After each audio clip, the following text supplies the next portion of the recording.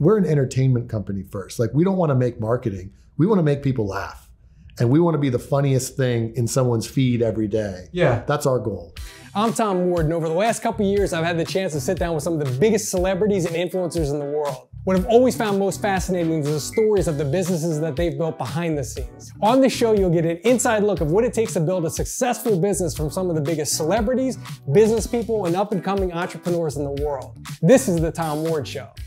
Hey guys, welcome to the Tom Ward Show where we talk to the biggest entrepreneurs in the world. And today I've got such an entrepreneur. We've got Mike Cessario, founder of Liquid Death Water. I heard you say that the company is all branding, which I think you're exaggerating a little bit because obviously it's a great product, um, you know, great water imported from the Alps. But you're really pretty on because, and I'll give you a story why. I've seen your ads on Instagram for ever, right? I'm scrolling, there it is. And it always attracts me, right? So I do a lot of prep for these things. So I'm kind of going through your website and going through your personal history and all that stuff. And I'm like checking out the merch. I'm like, I'm gonna buy a hoodie and a t-shirt like right now. And then I'm like, I can't really buy it if I've never tried the product. So let me at least try one first and then I can get the merch. Yeah. You know, where did you learn or get your branding chops? Because I mean, I can't name a brand off the top of my head that that's doing it better right now, especially on social. Well, I think packaged goods and beverage is traditionally a space where there's not a lot of really powerful brands. It, it's way more of a functional based approach that most brands take. Oh, we have this ingredient that's unique. Why should you buy this over another one? Well, because this one has more electrolytes or there's functional things. But you step away from beverage and other things like look at apparel. Like you have a Rolex watch. Okay. You could have another watch that costs $10 that tells time just as good. Yep. Looks exactly, Exactly like that. Yep. There's no real functional benefit, No. but you're willing to invest because there's a brand. It means something. They've spent a lot of time, money over years to make people associate something with that brand and there's an emotional reason, not a rational one. There's no 100 rational reason to have that, right? No. And I think people understand that in fashion a lot quicker. Like the average person's like, oh, even though I wouldn't buy a $700 Prada t-shirt, you know, I, I, I understand why some people would. I get it's a brand thing, even though you can buy the same t-shirt made from the same materials, performs the same function at Target Yep. for 12 bucks. Yep. Th- They understand brand there. But in CPG, since it's traditionally such a like functional based thing, people are like, wait a second, it, it's all brand. I don't I don't get it. But if you just kind of step away, I think it clicks for people. Oh, I now it starts to make sense. Yeah, in beverage, the only truly powerful, valuable brands are maybe like Red Bull. The extreme in your face. Well, they've just built a thing that goes beyond the liquid. Like people don't Red Bull doesn't have 25 million followers on social because everyone loves their ingredient profile.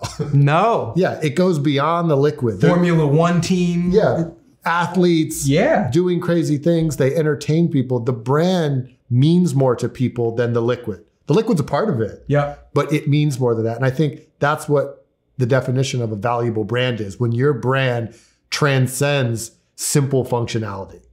So you took a pretty simple product. We're selling water here, Yeah, right? yeah, yeah. There is a million water brands out there. So did you have? Does it come brand identity first, and then go? Okay, what product can we kind of align ourselves with to do this? Like, did you have the image of Liquid Death and kind of the tone and the voice of the brand and everything first, and then did you decide on water as being the product, or how does it work? Well, we had the idea of the general concept, which was it was really only unhealthy brands like alcohol, junk food that would do all the really funny, irreverent, cool marketing. Like you think of most of the funniest ad campaigns of all time that people remember. It's like Budweiser, Bud Light, Cheetos, Doritos, Snickers. Like it's all junk food and alcohol does all the cool, fun marketing. Where Yeah. healthy brands never marketed that way. Like it's always very quiet. Calm. Yeah, it's not about fun. There's no logical reason for why soda is more fun than water or more fun than any other thing. It's Yeah, like, it's a drink. yeah, yeah, tons of people drink all kinds of things Um, it- it's literally just like a marketing thing that they decided to invest in. It's just the health food industry just never chose to invest in fun as part of their brand. And the voice, you're 100% right on that because when I think of healthy products, I think of like yoga mats and granola and calm and tranquil. Like I'm a healthy guy. I don't relate to that at all. I like the box. I like to lift weights occasionally. Yeah, right, like, yeah. I don't resonate with that at all. Right. But water's super healthy. And I think does your background, because we were talking before about music, and you were you grew up and probably still are a metal and punk rock fan.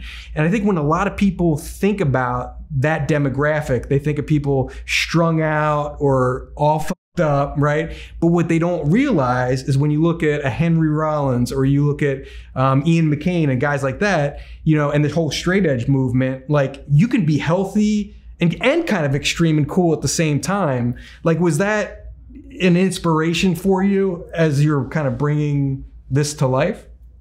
I think there's a lot of stereotypes across all areas of things, you know, and it's like, and people just assume this is what punk rock is, or this is what, I mean, yes, I listen to Slayer and Deicide and metal bands, but I also listen to, uh, you know, Adele and Norah Jones and Jay Z and Kris Kristofferson and like, and I think most people are Most more people are like that. yeah, are more not one thing. And I think a lot of marketing tries to think, oh, if you listen to punk rock, you are this, or if you listen to Jay Z, then you are this. But the reality is, it's it's way more gray. And I think again, outside of beverage, and I, I use this reference a lot, but like think about entertainment, like movies. Okay.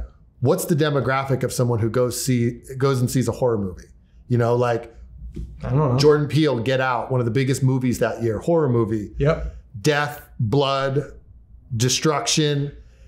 Was it heavy metal guys that went and made that movie, a two hundred million dollar movie? No, it was, a wide- regular people. Yeah, wide range of people that just have a taste for a particular type of entertainment. Mm-hmm. Um, I also bring up the stat like years ago, you know, The Walking Dead, a show about flesh eating zombies, was the number two most popular show for Among women. women. Yeah, Yep. but People don't know that or even think about it. They don't think about it, right? And if you're marketing to women, how many people are using a zombie campaign to market to women, even though the data's there? They're using lifetime movies. yeah, it's like again that they revert to these like low hanging fruit stereotypes that often are not true or even that effective. Yep. Hey, is that true with you? Because when I was looking at this too, I go, okay, it's probably a male demo, right? But then I was thinking, there's a lot of badass women out there, and I bet they would love this branding and love, like, I'm sober. So, like, to me, that's a perfect drink to drink at a bar. It's like a conversation starter. So, do you have a large women um, demographic too? We do, yeah, and it's probably one of the fastest growing. It's like yeah, out of the gate, liquid death. The low hanging fruit was dudes. Of course. So of course it was like maybe it was like seventy five percent kind of male in the very early days. Now I think it's we're more like forty percent women or more. Wow, that's incredible. And you just if you go on social and look up hashtag liquid death on Instagram and just scroll through the people who are naturally posting, I mean, lots of women. Like it's it's not it's not all metal dudes. you Yeah, know, yeah, like you kind of get to see, you know, and even though the brand has a what you would maybe call more metal aesthetic to it, Yeah. but in the same vein, horror movies have a visual metal aesthetic to them, but the entertainment value goes beyond just what the aesthetic is. And there's a lot of people who can appreciate the comedy of, of what we do. Because at the end of the day, we're not being serious. Anyone who likes us doesn't think, oh, Liquid Death thinks it's so bad at. It's like, no, everyone gets the joke Yeah. that we're sort of making fun of all this big corporate extreme marketing that's we've been watching for decades. Dude, I always do a lot of prep for these, and I was checking out your website and I actually saw the uh, gentleman downstairs who's like the website guy. I was like, you do incredible work because there's two things on the website that would just made me laugh. One is the woman shotgunning a can of water, right? Yeah. It's like so ridiculous Yeah. but funny. And then the other one reminded me of like a Mountain Dew commercial where the guy is drinking a can jumping out of an airplane. Oh yeah, the like skydiver. The skydiving guy, yeah, it's like this is extreme. Like we're so extreme, we're so badass, and you're kind of the way I take that as the viewer is like it's kind of tongue in cheek. Like guys, we're selling water here. We- We're just fucking around. Yeah, I mean, We don't take this seriously. There's no such thing as an extreme beverage. You know, Yeah. There- like there's no reason that drinking an energy drink makes you a better skydiver. You know, in fact, like a lot of these extreme sports athletes who are sponsored by energy drinks, they don't actually drink them. Like they're legit athletes with trainers that are like very careful what they put in their body. And- Oh yeah. Yeah. So it's kind of it it really is sort of bullshit. It's just like it's a marketing gimmick that they've tapped into and they owned at a period of time when other brands weren't coming after action sports athletes. Energy drinks kind of came in and like were the only people writing checks to these people. So mm-hmm. they're like, hey, I'm a punk band. I don't have a lot of source of money and this company wants to give me money. I'll take the money, Yeah. even if I don't drink the product. Yep. Um, but water, I think, is something that everybody actually drinks, and it's, I think, especially, you know, we don't, we haven't gone heavy after action sports stuff Okay. because these big energy drink companies, I mean, Monster's valued at 50 billion, Oh my god. one of the highest performing stocks of the last 30 years. Wow. Red Bull's probably valued at 60, 70 billion at least. Wow. So these are massive companies with huge checkbooks. Like we're not going to go in and try to buy our way into action sports. Like, Yeah. you know. Um, so we always, you know, in the early days, we focus heavily on music because musicians, they have a way to make income beyond sponsorships. Athletes, it's hard. That's why you'll see pro athletes who are decked head to toe in a particular brand because Yep. endorsement deals, especially for action sports, that's really how they make their living. They have to do that stuff. Musicians make money touring, selling merch, yeah. licensing deals. Like you'll never see a whole band dressed head to toe in, in, in a brand Yeah. because they don't need to do that. Yeah. know? And we know that from a cool factor standpoint, people would much rather promote Liquid Death than a lot of this other kind of th- these other brands. So And the other difference too, think about it. You're a music nut who came up in the scene. I think musicians are trusted more because there's always and there always will be the fear of selling out. Even though it's more acceptable now in the days of TikTok and influencers selling and hoodies and everything else they sell, for bands, it's still cool to kind of be not dressed head to toe like a NASCAR driver, Yeah, right? yeah, it's yeah. cool to like, nah, man, you don't see me endorsing anything, and I'm cool and I'm doing it. So I think if if you get a musician to kind of endorse your product, to me at least, as just a casual viewer, it carries more weight to me than the extreme sports guy with a can of liquid death in his hand. Yeah, you think that's true? Because I think you would, to your point, a musician, you don't see them do as many of these deals. So you know if they're doing something, they probably are legitimately into it. Mm-hmm. They're not, they don't need the money for that. No. You know, and now when it's a huge brand, like I think, I don't think people see when Coca Cola gets some huge celebrity, I don't think they're like, oh, they must really love that. It's like, no, they know they're making millions and millions of dollars on that. Yeah. But for like these smaller brands that don't have multi million dollar celebrity budgets, like if someone's promoting something, they know that there's probably a better chance that they're legitimate fans of the brand. And it's it's more of a special, unique thing than, yeah, how many other what other places do you see tons of upstart brands just instantly Yeah. getting endor- you know people to endorse it where and i think even just the endorsement stuff in general it's it's not as effective as it was and like we don't Do you do a lot of collabs? I want to talk about the Martha Stewart one later. Yeah, yeah, no. Because that's incredible. But do you do a lot of like collabs with athletes, musicians, influencers? i mean we've our approach to using celebrities has been more similar to the way like saturday night live uses celebrities it's like we've created our own comedy machine that is liquid death that's got our own tone of voice and unique thing and we bring these celebrities kind of into our little machine and we create this custom content with these people where you're likely seeing them in a way you've never seen them before just like saturday night live it's like Yep. these you know serious actors go on there to not take themselves too seriously Or politicians. or politicians Yeah. yeah. and they go on there and they do it's like oh i've never seen this pro football player act like an ass and it's it's really funny yeah. um, that's more been our approach where we're not just having someone drink our product and be ah, that's what I drink, you know, because no one believes that anymore. Yep. Um, so for us, it's we're an entertainment company first. Like we don't want to make marketing. We want to make people laugh, and we want to be the funniest thing in someone's feed every day. Yeah. That's our goal. Um, Now, how do you people, individuals, companies spend millions and millions of dollars to branding consultants to figure this out, right? What's our tone of voice? Who are we? What's the perfect avatar? All this nonsense, right? Right. You somehow have figured this out. Now, previously, you worked at Netflix and some companies, but famously for Gary Vee too, right? Where did you learn all this stuff?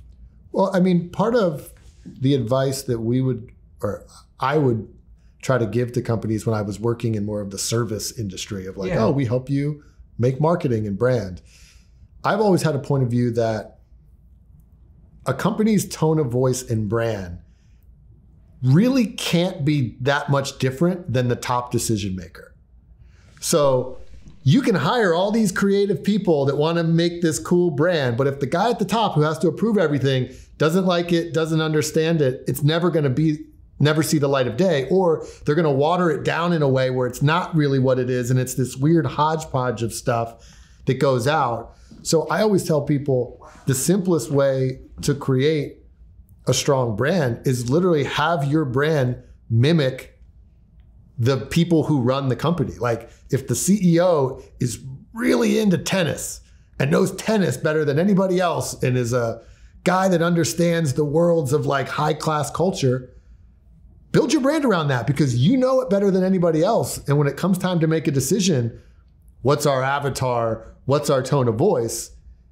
It's way easier to make that decision because you're the one that is it's replicating you Yep. you know and if you find a way to make your brand work in that voice that's the way that you can truly have a, an authentic and powerful brand because you're not trying to be something that You're at not. a core you're not you know like yeah you and you can try.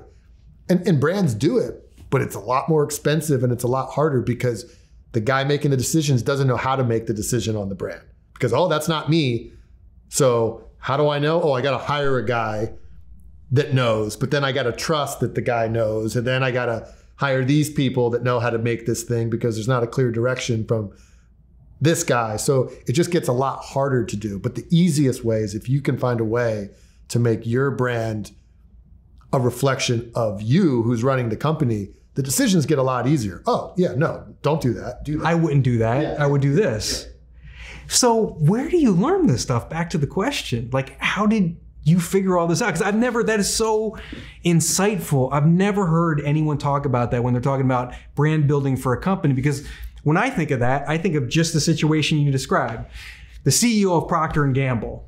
You know, I'll make a mass generalization. Probably an old white guy, right? Right, right, Maybe yeah. he likes golf or whatever. Yeah. But he's got a ton of these products that have nothing to do with him or his interest or his likes, but yet he's still got to sell a, an air freshener or whatever he's selling. So that's how I picture most companies working, but it makes so much sense the way you describe it. And why are people getting it wrong? Are they just trying to be somebody they're not? and, and procter and gamble it, to your point it is an extreme example where that's like a They're bajillion dollar Yeah, company that has all these brands and it's it's a little bit of a different game there but if you're just Yeah. talking about you're trying to get a brand you're trying to build a brand from scratch Yep. and you're running that brand you know you always like one of the best pieces of advice i've got as an entrepreneur is like you've got to find out what do you care about more than the average person know about more than the average person and in theory will have more fun working harder on than the average person because you have to have a competitive advantage. 100%. So trying to find like what is it that you know or understand better than most other people and try to make your brand around that because now you're already baking in the competitive advantage about especially when you go to raise money. The big question isn't is your idea the right idea? It's is this the right person to execute this idea? Founder first, right? Who's the founder? Do we believe in him? Or so many investors say that we don't invest in ideas, we invest in people. Yep. Um, so if you start there as you're starting a company, it's like, how am I the right exact person to do this? Because it's leveraging my own personal background, knowledge, interests, where I know about this more than the average person does, you're already going to be so far ahead of these people who are trying to, you know, just create something that they're not. And then they got to go find the right person to execute it. Again, it just gets a lot more expensive, takes more time. And in any kind of startup, I mean, speed is everything. So were you working at the time? Is this all going on in the background? And It you- is, yeah. You're looking at statistics of beverage sales and this whole thing as you're working your day job. yeah, working my day job, you know, not super happy in my day job, like not making anything terribly creative. It's just kind of again I've been paying there. the bills kind of stuff. Oh, yeah. Um, so yeah, it was my side project that when I had time, I would keep kind of like noodling on um, until eventually it was, you know, this fully formed thing. And it wasn't. A lot of people think, you know, all these genius ideas. You just think of it in the shower one day. It's like no, it was this piece of wood that like I chopped away at for a year or two until you finally had like, okay, now we have what this should be and all the details figured out and thought through. Um, it, it was meticulous. And it sounds like like your approach and your skill set, it didn't have to be water. You know, me looking from the outside, I go, I look at you and go, he could have probably made screwdrivers work. Or whatever the product happened to be. Yeah. It just happens to be water. Yeah. And I think we're kind of proving that's the case that we started off as, you know, still water in a can, very different product category. Like you're competing against Fiji and all these other like premium still water brands. And then we were starting to like beat those guys in the retailers where we were being sold. Then we launched premium sparkling, which is the black can. Now you're competing against Perrier, San Pellegrino, completely different set and even different customer Yep. than water. It's not there's not a lot of overlap there. Yep. So winning against those brands in a different category with kind of a different product. Then we just launched the flavored sparkling this past January, which is almost more like a healthy soda because we use three grams of agave in it to give it a little bit of sweetness and flavor because we want it to be different than all the zero cal, zero taste LaCroix brand. They really are zero taste. Yeah, there, there was an internet meme where it was like, LaCroix tastes like someone whispered a fruit name in the other room. That's so true. yeah. So, and then now our flavors are insanely successful. And we're like the number two sparkling on Amazon. After, I mean, we, we made that like it was three months of selling on Amazon. We were the number two sparkling on Amazon. Wow. So I think it's showing that having a, a, a truly powerful brand, it transcends like individual product categories. Mm-hmm. You know, like you, it can be, it is a much bigger thing. That's why we're able to sell merchant apparel, even though like you don't see many beverage companies. Forget it. Have I ever seen a wa- someone wearing a water brand hoodie in my life? Never. Perrier, Fiji water. No one. I'm sure they're out there somewhere. I mean, what you do see is like long established legacy brands, like you might- Coca-Cola yeah, maybe wear. Budweiser, Sure. you know, but these are brands that are worth two hundred billion dollars. Like they've got a hundred years of brand building Yep. To, to lean on, Yeah. and then they're finally, you know, they're able to do it. They weren't always able to do it. No. but- so yeah, I think that's that's been our approach. Is like it, we're building a brand, and the brand is bigger than just water in a can. Yeah. So you've got water in a can. Now, why the Alps? Are you insane? If I don't know anything about water or the beverage industry, but I go, okay, I want to put it in a can. There's got to be a reason no one else has put in a can. It's probably hard, right? But I see the benefits. And then two, I want something close by to reduce. Like, I don't want to ship water from Fiji. That's got to be expensive. We're a startup. Like, I don't know. There's fresh springs in the U.S. somewhere, and where you're from, right in Pennsylvania, there's some great springs you could use. Why the Alps and why cans? cans because as we were developing the idea for liquid death in a water company you know one thing that was starting to pop up at that time which was like 2017 ish when this was when the, kind of the, the early stages of liquid death you started to see all this backlash against plastic single use plastic Oh, was yeah. popping up more and more hotel chains were saying, hey, we're going to be eliminating single use plastic by X year. So it was becoming, it was almost like plastic was almost becoming like the new tobacco. Yeah, 100%. You know, like people were against it. So it's like, okay, well, you know, we don't necessarily think it makes sense to put water in this thing that people don't want. So what about cans? And it's like, oh, well, cans are cool because it just it looks cool. yeah, Um, it you know, it doesn't feel like water. It would stick out in the category. And then again, digging into it more, it's like, oh, cans are infinitely recyclable. Like you can recycle them over and over again. And the more you dig, it's like, oh, actually, the entire recycling industry is built on cans because plastic recycling's a sham. it's a sham. Yeah. Yep, no one wants it. China doesn't even want it anymore. Yeah. It, it is not economically viable to recycle. And there's more and more things coming out where it's, I mean, lobbyists dating back to the early 80s when people were starting to get worried about plastic when it was having a huge boom. Mm-hmm. And they wanted everyone to just, oh no, it's recyclable.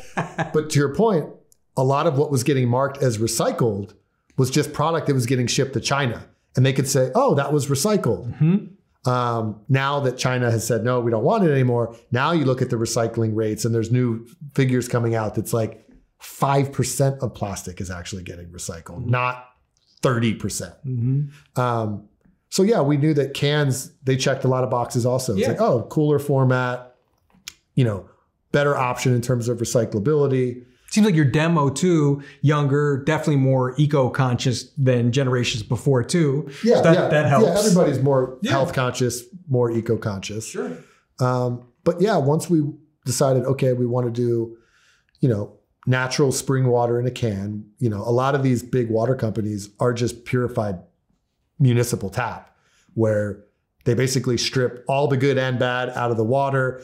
They add a tiny, tiny little bit of mineral back into it. But it's, it, I mean, it's highly processed tap water. Right. that doesn't sound that appealing for spending a premium on a bottle of water. So we knew that, hey, as a premium product, one thing people do care about water is the source. Like people, oh, it's from France or it's from a mountain, it's from a spring.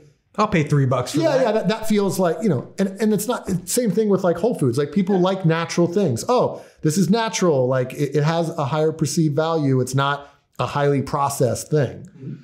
So when it came to finding who could produce this in the US, there was not a single bottler who could put spring water in cans Why? because canning operations are insanely expensive. Like you're talking hmm. 15, 20 million dollar investments for big canning capabilities at the source because it's way too expensive to try to tanker truck water from a spring source halfway across the country to a bottler. Like you would go under. So what happens? Does Fiji make the bottles in Fiji, then ship the bottles?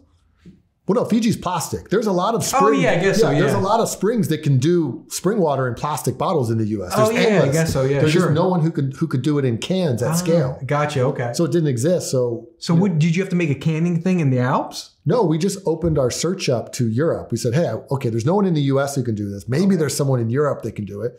And we found this place in Austria that, you know, they had, you know, their own spring sources and they had canning capabilities. And we flew out, we met with them, really liked them. And, you know, we just started working with them. And, you know, the economics at the time of producing and, you know, even we had to ship it to the US you know, there was can shortages in the U.S. where people couldn't get cans. There, there was a lot more cost where it wasn't even that much. It wasn't even really more expensive. In a lot of scenarios, it was actually cheaper. Um, so we're like, okay, this this is where we'll at least start out doing it.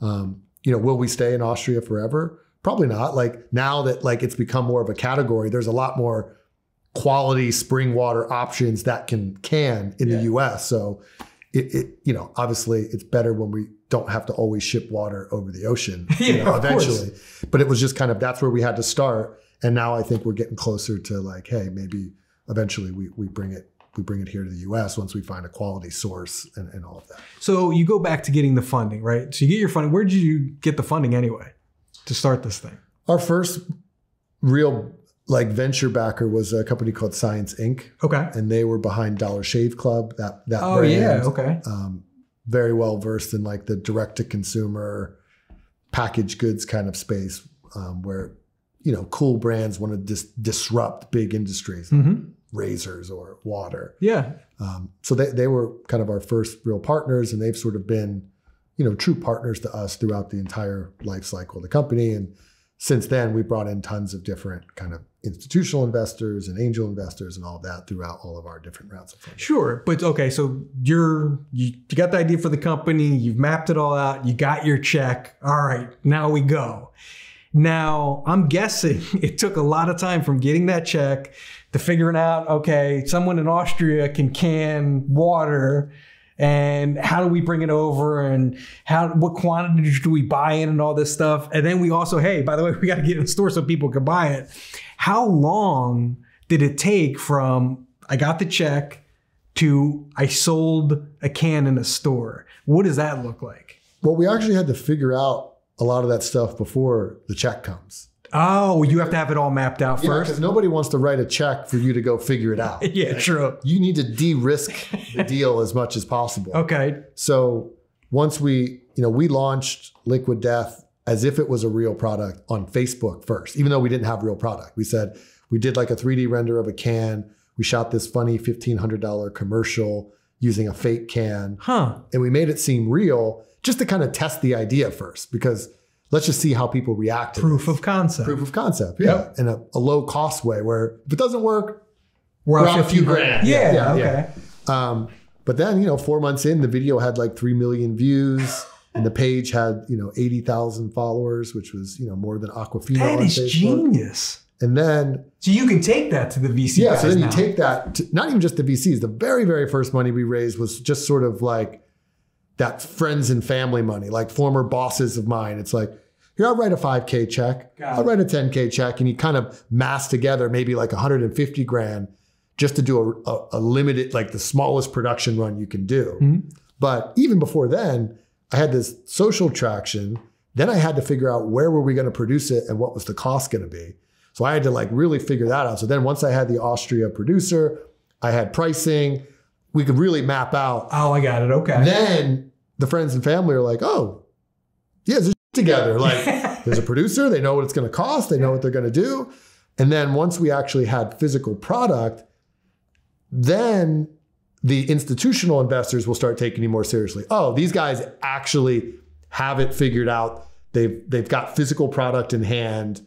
Now we feel like this is more de-risked and, and we can get involved. And that's kind of been like the whole raising process is like you're showing more and more traction that continues to further de-risk what the success of the company will be. You know, and I think there's a great lesson in there. I interviewed this guy. His his Instagram handle's boy with no job, and he's like a meme page kind of right. He's got a million and a half followers, but there's a lot of people like that. So anyway, long story short, he wanted to create like an um like a wine based sparkling beverage, and you know he's successful and he launched and got all the money. It's doing well and everything. And I asked him too, you know, what advice does he have for the aspiring entrepreneur out there, you know, in consumer brands? And he goes, make the fucking product. It doesn't cost that much money. Maybe unless you're Yeah, no, canning yeah, yeah, something right, in the. Alps, that may cost more. But if you're making a widget, right, Right. You, you could scrape together a couple grand, make it. And then he said, you know, and then get people excited about it. Chances are someone knows somebody who invests in brands. Yeah. So maybe you get your 10 grand there and maybe that's how you start. Like, what advice do you have for that young person who kind of has the idea for something? Maybe they have a marketing kind of plan in their head somewhere. What do they do? I, I don't think enough people take advantage of like the digital world that we live in. Hmm. You know, like social media is the ultimate testing platform. Like it's sure you can test thing in a test things in a focus group where there's like a bunch of people that agree to a survey and come into a room, but the way people behave in those situations is not often reflective of what actually happens in the market. Hmm. Because it's like a weird scenario. You Yeah. know, you're asking people, what do you not like about this? Well, you know, Liquid Death would have never survived a focus group. They'd have been like, oh, this is confusing. It looks like beer. I'd never buy this. Like, but social enables you to test things where you can run a paid ad on social and put $5 behind it if you want. And it's like, let's just say, I don't know, you're going to create a protein bar company. You don't even need to make physical protein bars. You can just design what would your protein bar look like? What would the name be? Because you're simulating the way that people would ultimately come to it at scale. Like if you're any kind of CPG company, you're going to be using the internet to market it. Otherwise, what are you doing? Yeah, of course. So in the future, when you're bigger, you're going to be marketing this to people on the internet in, in a, a way very similar to this. And the success of that is probably going to have a huge determining factor on the success of your company because it's all about how do you acquire new customers. You don't get to taste test all your potential customers. So they're not going to taste it. Mm-hmm. They're going to react to an ad for it. And are they interested by it? Wow. Are they going to click on it? Yep. Do they care to learn more about it? So anybody can test that. Like you can test Wow, what so this smart. looks like, a name, whatever. And even if it's not going to tell you everything, but you might try this and say, hey, well, I did this and it got a thousand likes, which is kind of impressive for a $10 spend. Mm-hmm. Or it might be, hey, I spent 300 bucks. The post got two likes and zero comments over a month. Yeah, scrap that. Yeah, maybe maybe maybe this is something that's not working here. Mm-hmm. At least you're doing something that is so low cost that either A, you can try multiple things. Yeah. You just find cheap ways to test something without having to go the full nine yards to be like, well, I got to figure out how I'm going to make a protein bar and figure out how to put it in a package. And then I'm going to go to a farmer's market. And I'm going to try to sell it. Yep. Is that really accurate if it's going to be a successful brand? Because if the name's not right, the packaging's not right, the type of product isn't right, Yeah. all that hard work doesn't mean anything. Sure. You just wasted time. There's other ways to test if those things are, are viable that are that are easier. I have never even thought about that or heard anyone say that. Like to me, you know, I go, wait, why would you advertise something? You got to make it first and then you advertise. Like, why would you ever? Because what if somebody wants it? Like, what do you do then? Like, that's, I think, probably how most other people think too. That is such a great idea, you know? And, and big companies do this all the time. Do they really? Like, this is a thing? Well, not in this way. Like the Cokes and Pepsis and Anheuser-Busch's of the world, like they have R and D departments. When they're going to launch new products, Yeah. they do so much testing and analysis to know what's right and what's not.